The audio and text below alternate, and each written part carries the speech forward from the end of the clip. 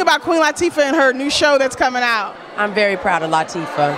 Latifah's a baby of the family. She's about three years, sorry, three months younger than I am. And for the baby, she was very bossy.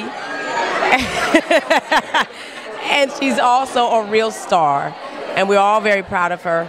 We love her to death. I'm very proud of her not only as a uh, person who is doing well inside of a very difficult culture, and that's Hollywood itself, but also as a black woman. She's always represented very well for that, and I've been a fan of hers even before I got on the show. I love Latifah. Studio Q Show, now you know.